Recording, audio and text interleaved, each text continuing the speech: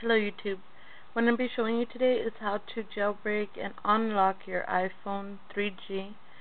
Uh, it works for 3GS I believe if you didn't um, use sn0wbreeze to jailbreak your previous jailbreak. what you're going to do is go ahead and go to your iTunes and update your update your phone your phone to the 4.0 firmware once you go ahead and do that, it's updated. Um, for those of you using T-Mobile, you're not going to be able to access it at all since you're only going to be allowed to make emergency calls. Well, once you've done that, go ahead and go to the site. I'll have the link for you guys in the bottom. And you'll go to uh, the site, go to uploaded files, and then go to Red Snow, the 0.1.5b5-3. Make sure it's the 3 one. I know a lot of uh, jailbreakers right now were putting the the dash 5 one, and that doesn't work at all for the jailbreak. So make sure it's this one. Just download it here. Just click download it, download, and you'll have it. Now, next thing what you're going to do is, I know that a lot of them are giving you the firmware to download separately. Don't do that. Uh, it won't work. The the Red Snow application will not accept it. It will keep rejecting it. So what you're going to do is, let me go ahead and open up um, where I have the Ponich, the Red Snow. And uh, go ahead and run it. Make sure your your iPhone um, is turn off, of course, or iPod Touch. As you can see, like, for example, right now I have a previous downloaded, those random downloads that there people keep providing links for. I've downloaded one here, and um, let me go ahead and and use it for. Let's go to my downloads.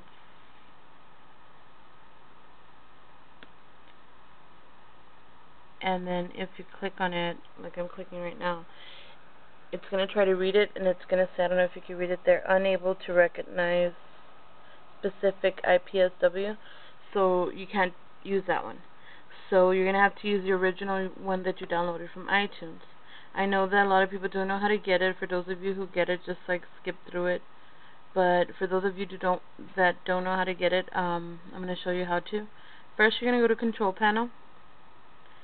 Once you go to Control Panel, you're going to go ahead and um, click Classic View. Once you're in Classic View, you're going to go to the little folder, which is Folder Options. Go ahead and click on it, and then um, go to View on the top right there. And then you're going to go here where it says Hidden Files and Folders and you're going to go ahead and click it down to show hidden files and folders. And then you click apply and then OK and then you're out right? So then you go back to your to Red Snow. And I closed it out. Sorry guys.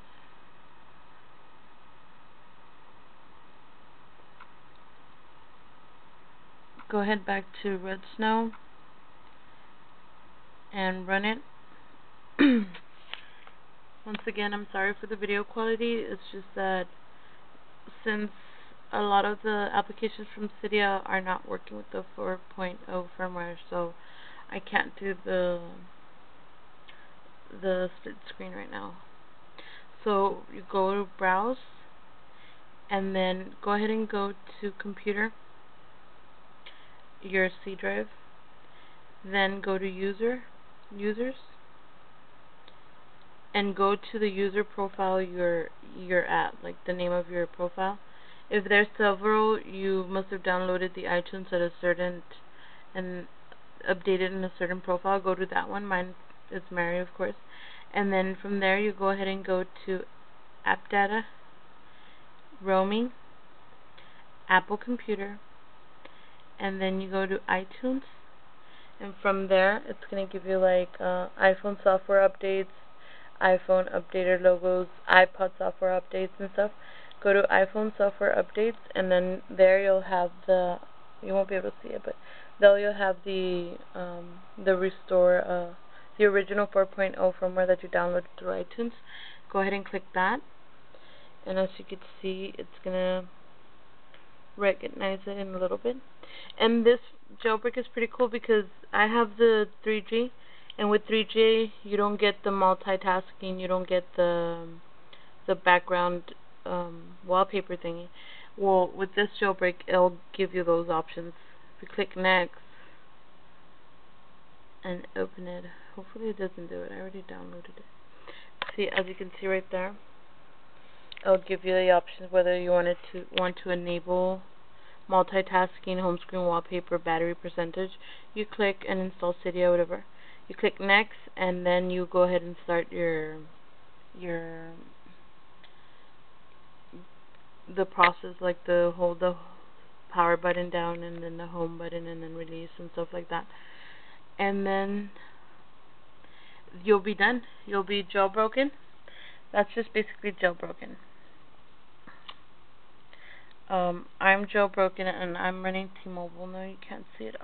I'm sorry, guys. I know this sucks. And um, first time we're gonna get Cydia, it's gonna be a clear Cydia.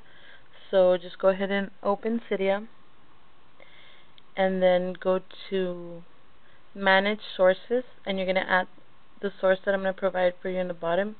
It's gonna be repo 666 dot ultra snow. Make sure the O is a zero dot com and from there they're only going to have ultrasn0w you click download it's going to give you the prompts to uh, uh, reboot your phone.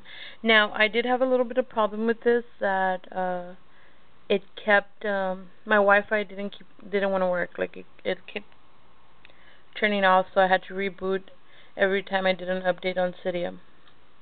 So right there you just have add your repo and then you'll have Ultra Snow and you download it and then you're going to go ahead and reboot your phone. Make sure you turn it off and on so that the T-Mobile thing will get it. And then once you do that, then that's it. You're jailbroken and you're unlocked. And just to show you right now, just to, I don't know if you're going to be able to see it. I'm going to show you, I'm going to open Facebook. I just opened Cydia as you saw. I'm going to open Facebook. Then I'm going to go ahead and open the iBooks. Um, keep subscribed if you want to know how to get your own ebooks onto your iBooks account. Um, instead of going through the store and stuff like that, I'll, I'm going to make a video. Hopefully today after this one if I'm not too tired, or tomorrow. So I opened those. So then you're going to double click on the on the home button and as you can see it opened like in the body multitasking. So this is all like everything that I've opened so far. And then well I don't know if you can see but the wallpaper is already in the bottom. If you go to in the back I'm sorry. If you go to settings and then you go to wallpaper and then you click on the little cutie thing whatever and then I'll have tons of different wallpapers and then you'll go ahead and click one. You click set and it'll ask you there if you want to set lock screen, set home screen, set both. Let's say I click set both, set it up and get out and it'll be like a different wallpaper.